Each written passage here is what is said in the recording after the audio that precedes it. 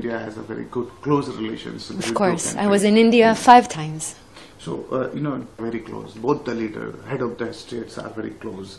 And the way India has condemned the terrorist attack in Israel, what's your message to the India, I mean, Indian and in, uh, countrymen, to the, you know, Indian people? I honestly, I feel grateful to have an ally, a beautiful ally like India. India is one of my favorite places on earth. I love its people. I can really understand why the first thing that you guys did was to condemn the horrible action of October 7th in Israel. I would expect nothing less, but I want to say with the utmost gratefulness in my heart I think it's the best thing that you guys can do for us is condemn this horrible terror and stand by our side.